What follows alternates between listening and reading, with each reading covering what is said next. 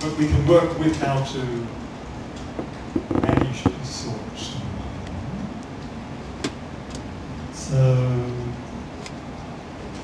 um, yeah, that's it. There's the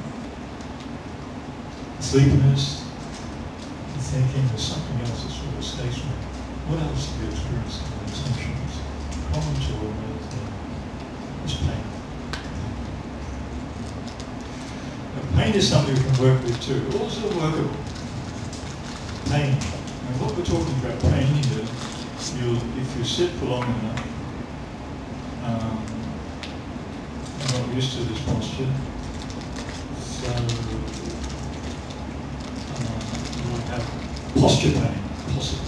I'm not talking about any pre-existing medical condition or something. You know.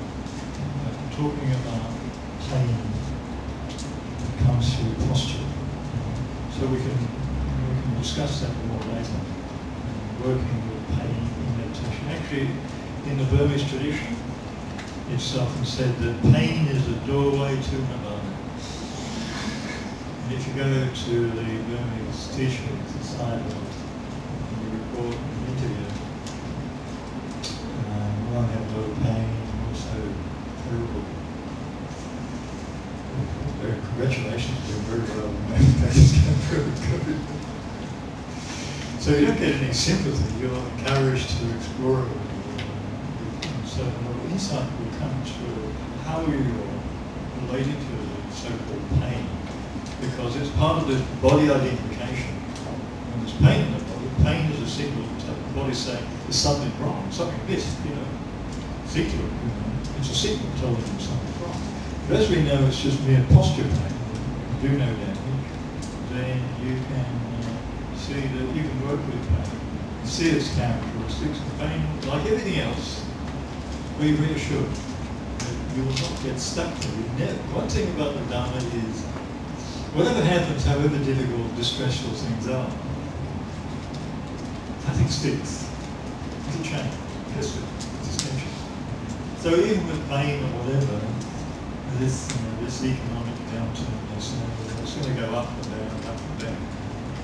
Um, so it'll change. For the good or the worse, it doesn't matter. It's changes there.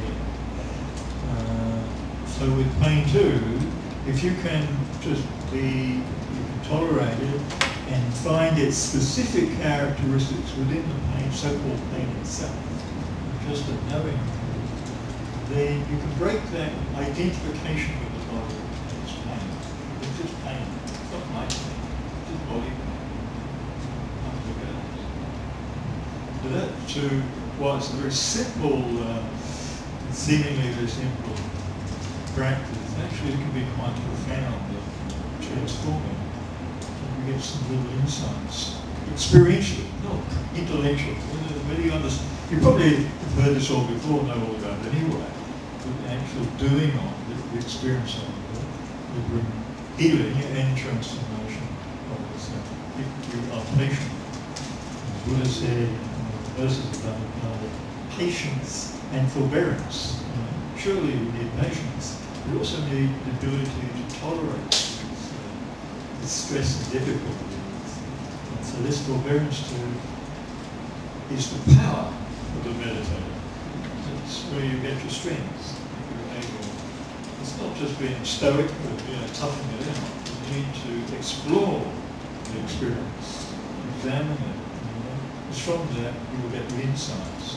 It's not just mindless looking at it. You know. You want to examine if it reveals its nature, if you're investigating it, finding the particular characteristics, which will then, you know this particular characteristics, it reveals the universal characteristics of each of you. Okay. Now, this is supposed to be a workshop. I can't hear you guys sitting there looking at me and I'm just talking on and on and on. I don't know how much you take in of any, anybody's talks and instructions. Is there any question that comes?